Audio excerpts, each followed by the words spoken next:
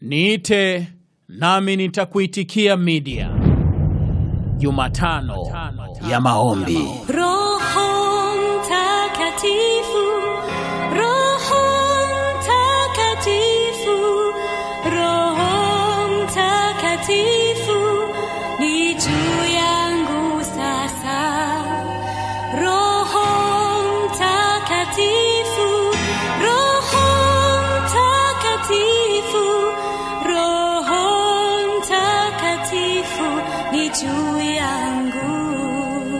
Bwana Yesu asifiwe.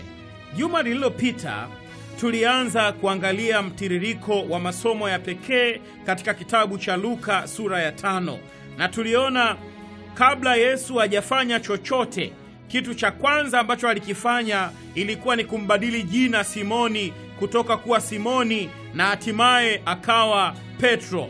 Leo tunaangalia tafakari tukijielekeza kwenye wazo kwamba ili ufike mahali unapotaka kufika, sio lazima kila mara Mungu aumbe vitu vipya ndani yako, sio lazima.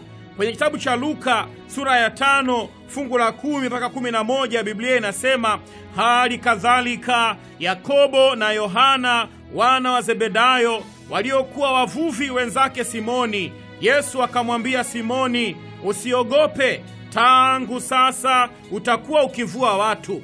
Basi baada ya kuzileta zile mashua ukingoni mwa ziwa, wakaacha yote wakamfuata. Mpenzi msikilizaji, uwezo wa kuwa mwamba Simoni alikuwa nao, lakini ni uwezo uliokuwa umelala.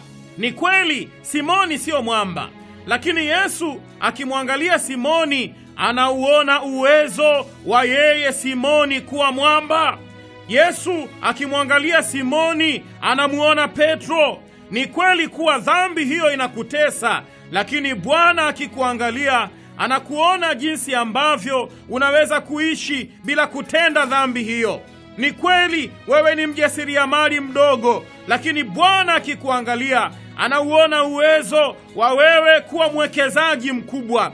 Ni kweli huna mtoto, lakini Bwana akikuangalia anakuona ukiitwa mama, ukiitwa baba wa watoto wengi. Katika kila upungufu wako, Bwana anakuona wewe uliyejazwa.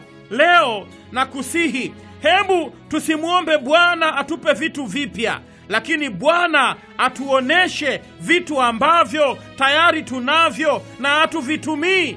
Leo hebu na tusimwombe Bwana atupe vitu vipya na kutia moyo na nakualika leo tumwombe Bwana atuoneshe vitu vyote ambavyo tunavyo lakini hatuvitumii. Atuoneshe uwezo ambao tayari ametupa lakini hatuutumii, labda kwa sababu hatujui au kwa sababu ya hofu. Tumwombe Bwana atuoneshe biashara ambazo tungeweza kuwa tunazifanya, lakini kwa sababu mbalimbali hatuzifanyi. O, na tumwombe Bwana atuoneshe nafasi makazini ambazo tulipaswa kuwa tumezifikia, lakini kwa sababu mbalimbali hatujazifikia. Tumwombe Bwana atuoneshe aina ya familia ambazo tulipaswa kuwa nazo, lakini kwa sababu mbalimbali mbali, hatuna familia hizo. Bwana na atuoneshe GPA ambazo kwa kweli ndizo tulipaswa kuwa tunapata kwenye matokeo ya kila UE, lakini hatuzipati. Bwana na atuoneshe afya ambayo kwa kweli ndiyo ilipaswa kuwa afya yako, lakini kwa sababu mbalimbali mbali, huna afya hiyo. Baada ya Bwana kukuonyesha hayo na kualika, tumwombe atubadilishe tumwombe atupe uwezo wa kuamka na kuwa wakina sisi tunaopaswa kuwa. Aondoe kila unyonge, aondoe kila kikwazo, aondoe kila kinachozuia tushindwe kufika mahali ambapo yeye akituangalia anaona tunaweza kufika. Atufikishe mahali ambapo tulipaswa kufika.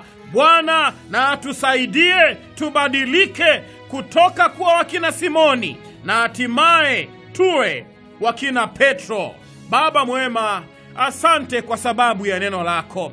Mwovu Shetani ametudhulumu vingi, mfalme wa amani, ulitamani tuwe tumefika mahali fulani mpaka wasaa huu.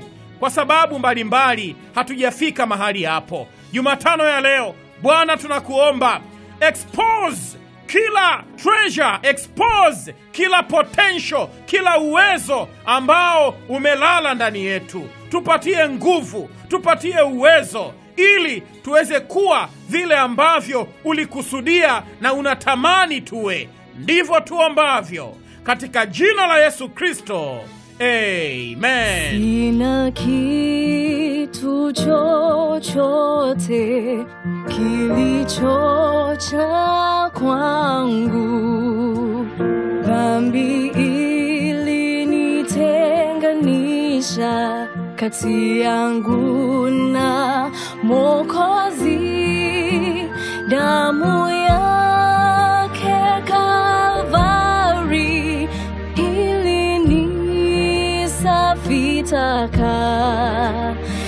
Sasa